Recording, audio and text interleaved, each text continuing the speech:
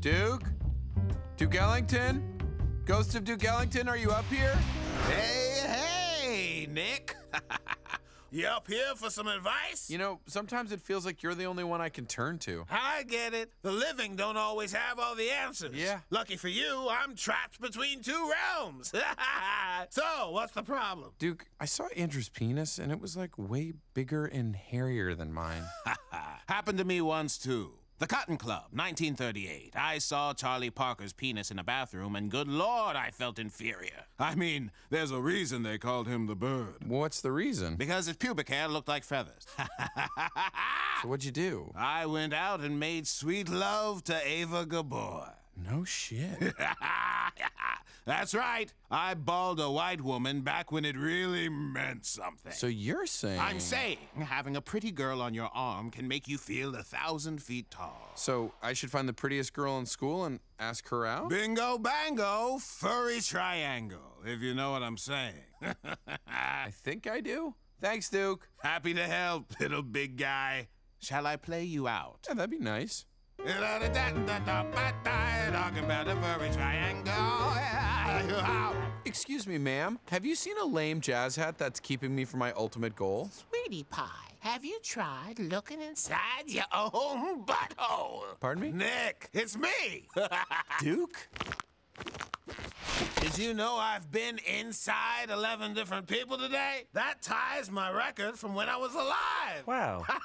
How those dicks hanging, you tiny cracker honky. You're drunk, Duke. No, you're Duke. Drunk? Duke, we lost my jazz hat. Well, then let's go and find it. We can't just go running around the city. Of course you can. We could get lost. That's nonsense. You're never lost in New York City.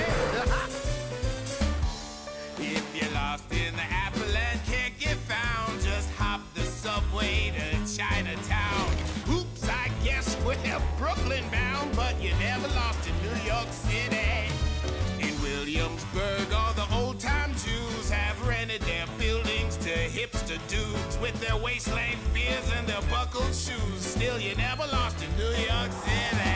Over there. That little Odessa with the right tattoos. Chances are you won't get shot. And the vibe is shitty in Long Island City, but it's one of old Duke's favorite spots. Flushing Queens is some messed up jive. Those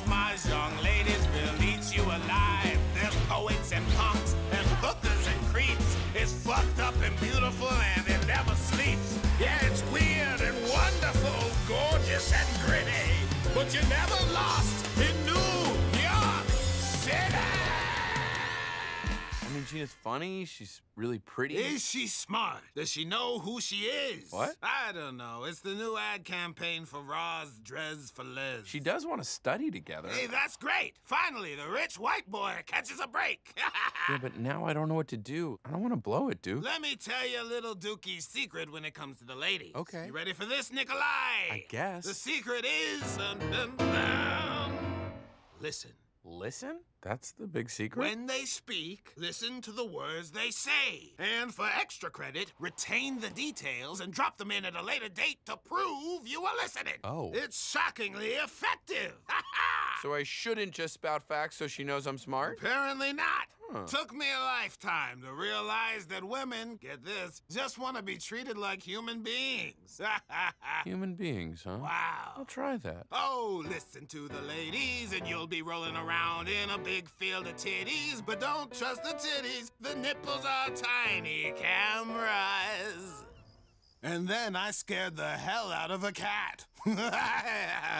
How was your day? Well, to be honest with you, Duke, not great. My girlfriend got her period and then she got really mad at me. Mm, sounds like we both got pussy problems.